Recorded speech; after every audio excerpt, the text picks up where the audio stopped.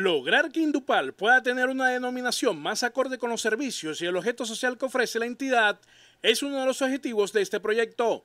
Pues el proyecto es de mucho beneficio para la ciudad. Cambiar el nombre de Indupal, que cuando se creó significaba mucho, hoy no significa nada, por el nombre de Inder, que está institucionalizado a nivel nacional, inclusive creo que a nivel mundial nos trae muchos beneficios y aportes nacionales e internacionales a la ciudad de Valledupar. Bienvenido este nombre, estoy totalmente de acuerdo con él, esperemos eh, analizar con profundidad el proyecto presentado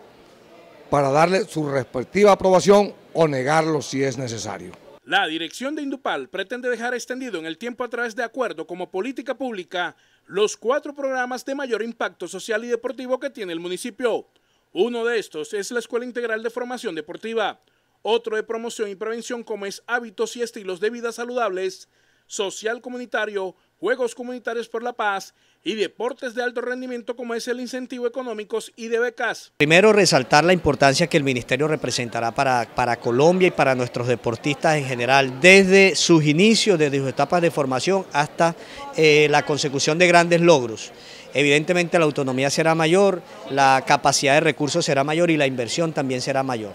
Y eso replica obviamente a los entes descentralizados como el nuestro, que van a poder consolidar y eh,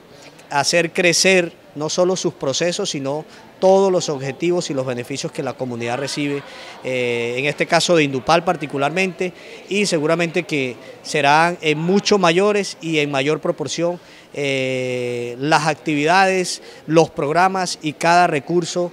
que se establezca por parte de la Nación para, para Valledupar y para el Instituto Municipal llegará a las comunidades.